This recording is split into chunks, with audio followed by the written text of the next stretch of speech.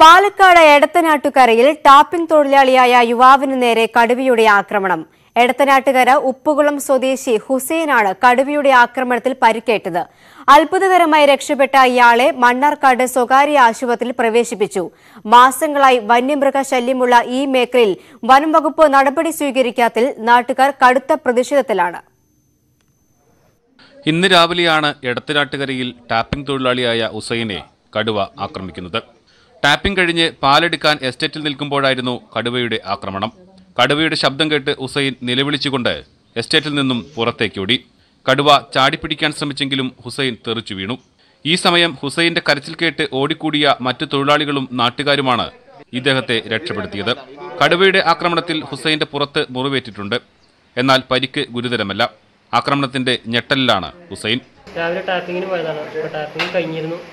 അപ്പോൾ പാലെടുക്കാൻ വേണ്ടി ഇങ്ങനെ നിൽക്കുന്ന ടൈമിലാണ് ഇത് വന്ന് ചാടിയത് കടുവ നേരെ വന്ന് ചാടിയത് അങ്ങനെ കുറച്ച് ഓടി ഓടി ഓടി പുറകെ കൂടിയിട്ട് കടിച്ചിട്ട് കുടഞ്ഞിടുകയുണ്ട്.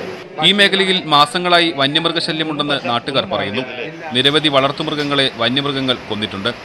എന്നാൽ വനംവകുപ്പ് കാര്യമായ നടപടികൾ സ്വീകരിക്കാത്തതിനെതിരെ സമരത്തിനൊരുങ്ങുകയാണ് നാട്ടുകാർ.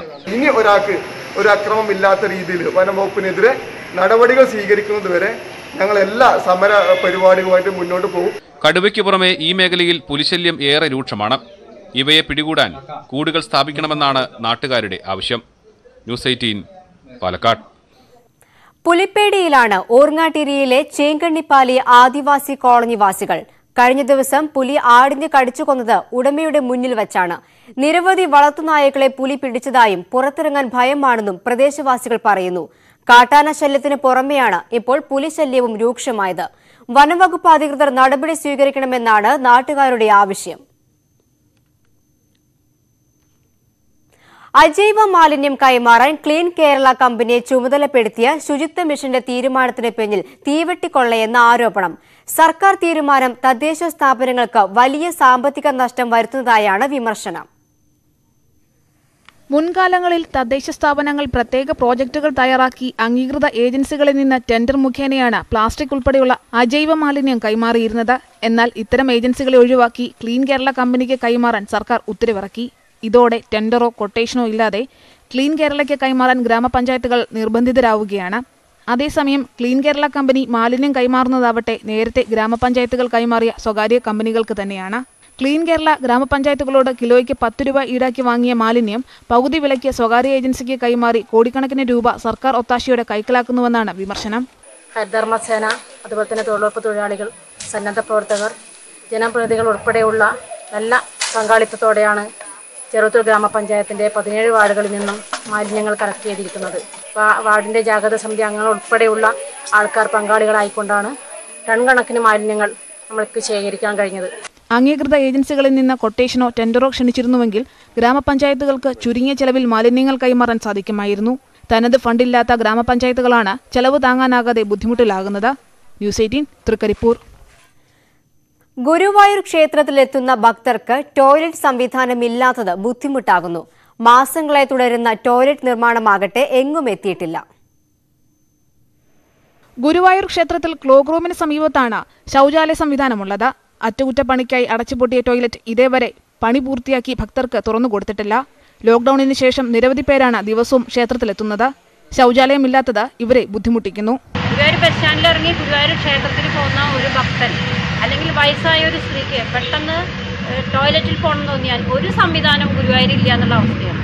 ഇത് ഗുരുവായൂരിലെത്തുന്ന ഭക്തജനങ്ങളോടും അന്താരാഷ്ട്ര തീർത്ഥാടന കേന്ദ്രമായ ഗുരുവായൂരിന് ഗുരുവായൂർ ക്ഷേത്രത്തിനോടുള്ള ഒരു വെല്ലുവിളിയായിട്ടാണ് ഞാൻ കാണുന്നത്. ഹോട്ടലുകളും ലോഡ്ജുകളും തുറന്ന് പ്രവർത്തിക്കുന്നുണ്ടെങ്കിൽ അവിടുത്തെ ടോയ്ലറ്റിനെ ആശ്രയിക്കാമായിരുന്നു.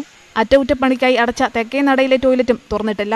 ഭക്തർക്ക് താൽക്കാലികമായി പൂന്താനം ഓഡിറ്റോറിയത്തിന് സമീപം ഈ ടോയ്ലറ്റ് ഉണ്ടെന്നാണ് അധികൃതർ പറയുന്നത്. എന്നാൽ സ്ത്രീകൾക്ക് ഇത് ബുദ്ധിമുട്ടുണ്ടാക്കുന്നുവെന്നാണ് പരാതി. News eighteen Guruvayur. ഉടുമ്പൻചോല മണ്ഡലത്തിലെ വിവിധ കേന്ദ്രങ്ങളിൽ വെയിറ്റിംഗ് ഷെഡുകളുടെ നിർമ്മാണം നിലച്ചു. മഴ ശക്തി പ്രാപിക്കുന്നതിന് മുൻപ് വെയിറ്റിംഗ് ഷെഡുകളുടെ നിർമ്മാണം പൂർത്തീകരിക്കണമെന്ന് നാട്ടുകാർ ആവശ്യപ്പെടുന്നു. നിയമസഭാ തെരഞ്ഞെടുപ്പിന് മുൻപാണ് ഉടുമ്പൻചോലയിലെ വിവിധ കേന്ദ്രങ്ങളിൽ ആധുനിക സൗകര്യങ്ങളോടുകൂടിയ വെയിറ്റിംഗ് ഷെഡുകളുടെ നിർമ്മാണം തുടങ്ങിയത്. ഇരുപത് ലക്ഷത്തിലധികം രൂപ മുതൽ മുടക്കിലാണ് ഓരോ കേന്ദ്രവും ഒരുക്കാൻ പദ്ധതി തയ്യാറാക്കിയത്. നിർമ്മാണ പ്രവർത്തനങ്ങൾ ആരംഭിച്ചുവെങ്കിലും പലയിടത്തും നിർമ്മാണം എങ്ങും എത്തിയില്ല നെടുങ്കണ്ടത്ത് പടിഞ്ഞാറക്കവല വെയിറ്റിംഗ് ഷെഡ് നിർമ്മാണം പാതിവഴിയിൽ നിലച്ചു. എൽ ഐ സി ജംഗ്ഷനിലെ നിർമ്മാണം പ്രാരംഭഘട്ടത്തിൽ തന്നെ നിലച്ചു. ഉടുമ്പച്ചോലയിലും നിർമ്മാണം മുടങ്ങിയ അവസ്ഥയിലാണ്. പകുതി പണിതിട്ട് പിന്നീട് ലോക്ഡൌൺ ആണെന്ന് പറഞ്ഞു ലോക്ഡൌണിന്റെ പ്രശ്നങ്ങൾ കഴിഞ്ഞു. എന്നിട്ടും ഇത് പണിയാൻ അവിടുത്തെ കോൺട്രാക്ട് എടുത്തിരിക്കുന്ന ആളുകൾ തയ്യാറായിട്ടില്ല. അത് യാതൊരു മുൻകരുതലുമില്ലാതെയാണ് വെയിറ്റിംഗ് ഷെഡുകൾ പണിതിരിക്കുന്നതെന്നാണ് കാഴ്ചപ്പാട്. കാരണം പടിഞ്ഞാറക്കവലയിൽ ഇപ്പോൾ ഒരു വെയിറ്റിംഗ് ഷെഡ് ഉണ്ട്. അതിനോട് ചേർന്നൊരു വെയിറ്റിംഗ് ഷെഡ് പണിയുന്നു. നെടുങ്കണ്ടം എൽ ഐ സി ജംഗ്ഷനിലെയും ഉടുമ്പൻചോലയിലെയും നിർമ്മാണത്തിനെതിരെ പരാതിയുണ്ട്. അടുത്ത ദിവസം ഇത് സംബന്ധിച്ച് ഹിയറിംഗ് നടത്തി നിർമ്മാണം പുനരാരംഭിക്കുമെന്നാണ് അധികൃതർ നൽകുന്ന വിശദീകരണം. News eighteen Idukki. വടകര തിരുവള്ളൂരിൽ കോവിഡിന്റെ ഡെൽറ്റ വകഭേദം കണ്ടെത്തി. ഇതോടെ അതീവ ജാഗ്രതയിലാണ് പ്രദേശം. അൻപത്തിരണ്ട് ദിവസം മുൻപ് വാർഡിൽ മരിച്ച സ്ത്രീയിലാണ് ഡെൽറ്റ വൈറസിന്റെ സാന്നിധ്യം കണ്ടെത്തിയത്. ഇവരുടെ നാട്ടിൽ ക്യാമ്പ് നടത്തി പരിശോധിക്കണമെന്ന് ആരോഗ്യ വിദഗ്ധർ അറിയിച്ചതിനെ തുടർന്ന് മുന്നൂറോളം പേർക്ക് പരിശോധന നടത്തി. സുരക്ഷാ സംവിധാനങ്ങൾ കൂടുതൽ ശക്തമാക്കാനുള്ള ശ്രമങ്ങളിലാണ് അധികൃതർ. ഡോക്ടർ വിളിക്കുന്നത് ഇങ്ങനൊരു പിന്നെ ആ മരണം പിന്നെ ഇത് ആ സമയത്ത് സേബ് എടുത്തിരുന്നു. ആ സേബ് പിന്നെ മുംബൈക്ക് അതിന്റെ പരിശോധനയ്ക്ക് അയച്ചപ്പോഴാണ് ഡെൽറ്റ ആണെന്ന് മനസ്സിലായിട്ടുണ്ട്. വേണ്ട ക്രമീകരണങ്ങൾ നടത്തി ഇന്ന് തന്നെ ഒരു മൊബൈൽ യൂണിറ്റ് വരുന്നു അവിടെ പെട്ടെന്ന് ഇത് പിന്നെ ടെസ്റ്റ് നടക്കണം എന്ന് പറഞ്ഞു. അതിന്റെ ഭാഗമായിട്ടാണ് ഇപ്പോൾ ടെസ്റ്റ് നടക്കുന്നത്. കൊല്ലത്ത് കരിയിലക്കൂട്ടത്തിൽ ഉപേക്ഷിച്ച നവജാത ശിശു മരിച്ച സംഭവത്തിൽ വഴിത്തിരിവ്.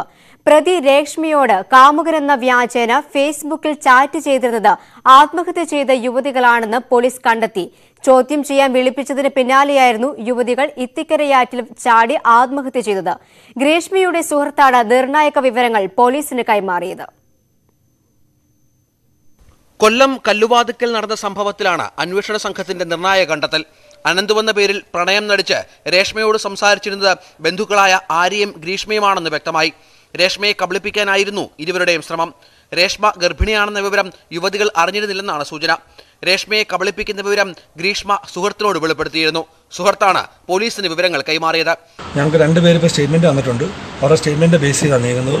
കൂടുതൽ കാര്യങ്ങൾ തുറന്നു പറയാൻ പറ്റില്ല. എന്നാൽ ഈ സുഹൃത്തിനെ കുറിച്ചുള്ള വിവരങ്ങൾ പോലീസ് വെളിപ്പെടുത്തിയിട്ടില്ല. ഇയാളുടെ രഹസ്യമൊഴി രേഖപ്പെടുത്തും.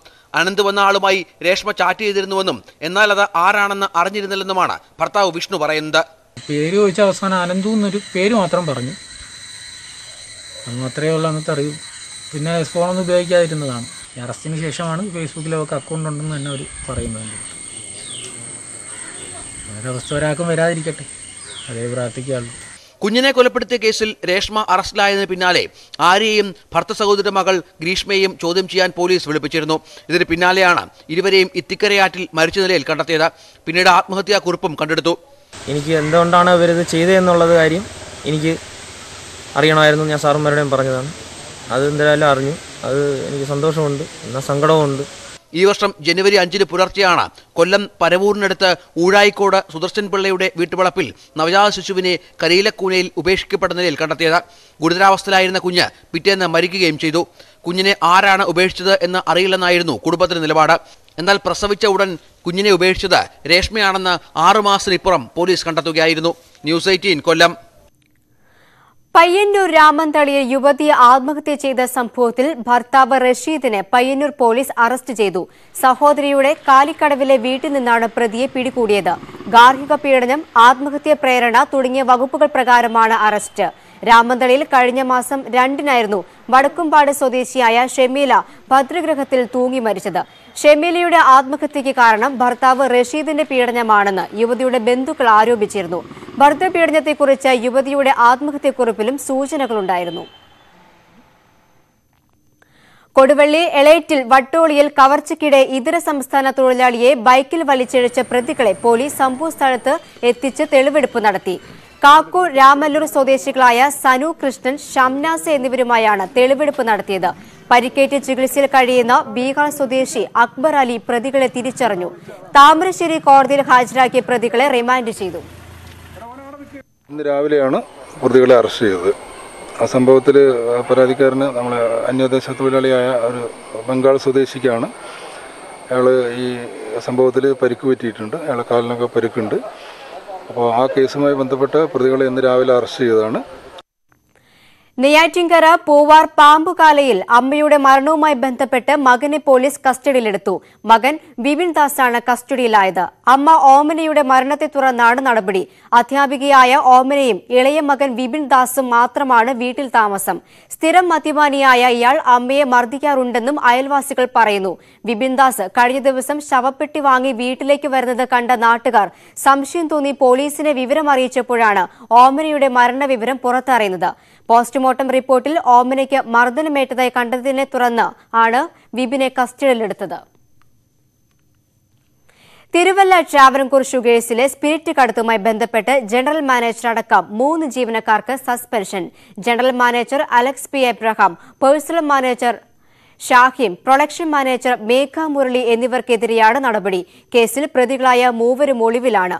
ട്രാവൻകൂർ ഷുഗേഴ്സ് ആൻഡ് കെമിക്കൽസിൽ തിങ്കളാഴ്ച മത്തി ഉൽപാദനം പുനരാരംഭിക്കും കൊടകര കുഴൽപ്പണ കേസിൽ കെ സുരേന്ദ്രന് അന്വേഷണ സംഘം നോട്ടീസ് നൽകിയതിൽ പ്രതിഷേധിച്ച് കൊട്ടാരക്കരയിൽ ബി ജെ പി പ്രവർത്തകർ മുഖ്യമന്ത്രിയുടെ കോലം കത്തിച്ചു. പ്രതിഷേധ പരിപാടി ബി ജെ പി ജില്ലാ പ്രസിഡന്റ് ബി പി ഗോപകുമാർ ഉദ്ഘാടനം ചെയ്തു. കഴിഞ്ഞ ദിവസം രാത്രിയിൽ യുവമോർച്ച പ്രവർത്തകർ കൊട്ടാരക്കര ചന്തമുക്കിൽ പന്തം കൊളുത്തി പ്രതിഷേധിച്ചിരുന്നു. ഇതിന്റെ തുടർച്ചയായിട്ടാണ് റെയിൽവേ സ്റ്റേഷൻ ജംഗ്ഷനിൽ മുഖ്യമന്ത്രി പിണറായി വിജയന്റെ കോലം കത്തിച്ച് പ്രതിഷേധിച്ചത്. വനം കൊള്ളയ്ക്കെതിരെ I N T U C യുവ തൊഴിലാളി വിഭാഗത്തിന്റെ പരിസ്ഥിതി സൌഹൃദ പ്രതിഷേധം. സംസ്ഥാനത്തെ വിവിധ കേന്ദ്രങ്ങളിലായി വൃക്ഷത്തൈകൾ നട്ടുകൊണ്ടാണ് പ്രതിഷേധ സമരം സംഘടിപ്പിച്ചത്. പ്രതിഷേധ പരിപാടിയുടെ സംസ്ഥാനതല ഉദ്ഘാടനം കോഴിക്കോട് മുക്കത്ത് I N T U C യുവ തൊഴിലാളി വിഭാഗം സംസ്ഥാന പ്രസിഡന്റ് നിഷാബ് മുല്ലോളി മുക്കത്ത് നിർവഹിച്ചു. ഇടവേളയാണ് കൂടുതൽ വാർത്തകൾക്കും വിശദാംശങ്ങൾക്കും Malayalam dot news eighteen dot com.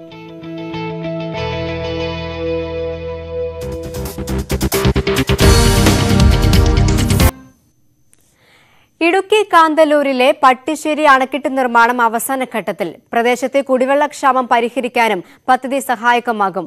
ഒരു വർഷത്തിനുള്ളിൽ നിർമ്മാണം പൂർത്തീകരിക്കാനാകുമെന്ന് മന്ത്രി റോഷി അഗസ്റ്റിൻ പറഞ്ഞു. ശീതകാല പച്ചക്കറികളുടെ കലവറയായ കാന്തല്ലൂരിലെ കാർഷിക മേഖലയ്ക്ക് കരുത്തു പകരുന്നതാണ് പട്ടിശ്ശേരി അണക്കെട്ട്. ഡാമിന്റെ പ്രവർത്തനം പുരോഗമിക്കുകയാണ്. ജിയോളജി വകുപ്പിന്റെ അനുമതി ലഭിച്ചതോടെ അണക്കെട്ടിന്റെ നിർമ്മാണം ഊർജിതമായി. മന്നവൻ ചോലയിൽ നിന്നും ഒഴുകിവരുന്ന വെള്ളം തടഞ്ഞു നിർത്തുകയാണ് ലക്ഷ്യം. കൃഷിക്കും കുടിവെള്ളത്തിനും വെള്ളം ശേഖരിച്ചു വെക്കാനുമാകും. ഏഴു വർഷം മുൻപ് തുടങ്ങിയ നിർമ്മാണ പ്രവർത്തനങ്ങൾ ഇടയ്ക്ക് തടസ്സപ്പെട്ടിരുന്നു. ഇപ്പോൾ നിർമ്മാണം അവസാന ഘട്ടത്തിലാണ്. ഒരു വർഷത്തിനുള്ളിൽ നിർമ്മാണം പൂർത്തിയാക്കാനാകുമെന്നാണ് പ്രതീക്ഷ. അൻപത് ശതമാനം കൺസ്ട്രക്ഷനാണ് നടന്നിട്ടുള്ളത്. ആ ശേഷിച്ച വിഷയങ്ങളെല്ലാം സമയബന്ധിതമായി പൂർത്തീകരിക്കാൻ നിലപാടെടുത്തു. ഏതാണ്ട് ഒരു വർഷക്കാലത്തിന് മുമ്പായി ഇത് പൂർത്തീകരിക്കാൻ കഴിഞ്ഞാൽ കാന്തല്ലൂർ ഉൾപ്പെടെയുള്ള പ്രദേശങ്ങളിൽ കാർഷിക മേഖലയ്ക്ക് വലിയ സഹായകമാകുന്ന ഒരു നിലപാടാണ് ഇതിലൂടെ നടക്കുന്നത്. അണക്കെട്ടിനായി തയ്യാറാക്കിയിരിക്കുന്ന സംഭരണിയിലേക്ക് ഒഴുകി വരുന്ന വെള്ളം പുറത്തേക്ക് ഒഴുക്കാൻ കനാലും നിർമ്മിക്കുന്നുണ്ട്. നാൽപ്പത്തിയാറ് ദശാംശം എൺപത് കോടി രൂപയാണ് പദ്ധതി ചെലവ്. കാന്തല്ലൂർ പഞ്ചായത്തിലെ കുടിവെള്ളക്ഷാമവും ശീതകാല പച്ചക്കറി അടക്കമുള്ള കാർഷിക മേഖലയിലെ ജലസേചന പ്രശ്നങ്ങളും ഡാം നിർമ്മാണം പൂർത്തിയാകുന്നതോടുകൂടി പരിഹരിക്കപ്പെടും. News eighteen Idukki. Punalur Muvattupuzha പാതയിലെ പമ്പ നദിക്ക് കുറുകെയുള്ള റാന്നി സമാന്തര പാലത്തിന്റെ നിർമ്മാണം അനിശ്ചിതത്വത്തിൽ. അപ്രോച്ച് റോഡ് നിർമ്മാണത്തിനുള്ള സ്ഥലമേറ്റെടുപ്പ് നടപടികൾ റവന്യൂ വകുപ്പ് പൂർത്തിയാകാത്തതാണ് നിർമ്മാണം തടസ്സപ്പെടാൻ കാരണം. കരാറുകാരൻ പണി ഉപേക്ഷിച്ച് നിർമ്മാണ സാമഗ്രികൾ സ്ഥലത്തു നിന്നും നീക്കി. റാന്നി ടൗണിലെ ഗതാഗത കുരുക്കിന് പരിഹാരം കാണാനാണ് ബ്ലോക്ക് പടി രാമപുരം ബൈപ്പാസ് പദ്ധതിയുടെ ഭാഗമായ സമാന്തര പാലത്തിന്റെ നിർമ്മാണം. രണ്ടു വർഷം മുൻപാണ് നിർമ്മാണം തുടങ്ങിയത്. തെരഞ്ഞെടുപ്പ് കാലത്ത് പാലത്തിന്റെ നിർമ്മാണം തിടുക്കത്തിൽ നടത്തുകയും പിന്നീട് നിർമ്മാണം നിർത്തിവെക്കുകയും ചെയ്തുവെന്നാണ് പരാതി. പാലം പണി അടിയന്തരമായി പൂർത്തിയാക്കണമെന്നാണ് ആവശ്യം. തെരഞ്ഞെടുപ്പ് കാലത്ത് ആളുകളെ കൂട്ടി ഇവിടെ സാധാരണഗതിയിൽ പണിയുന്നതിനെക്കാട്ടിൽ കൂടുതൽ ആളുകളെ എണ്ണത്തിൽ കാണിച്ചുകൊണ്ട് ഇവിടെ വലിയ രീതിയിൽ ഒരു വികസനം വരുന്നു എന്ന് ആളുകളുടെ കണ്ണിൽ പൊടിയിടുന്നതിന് വേണ്ടി മാത്രം ഉള്ള ഒരു പണിയാണ് ഇവിടെ നടത്തിയത്. യാതൊരുവിധ ആത്മാർത്ഥതയും അതിനോട് കാണിച്ചിട്ടില്ല.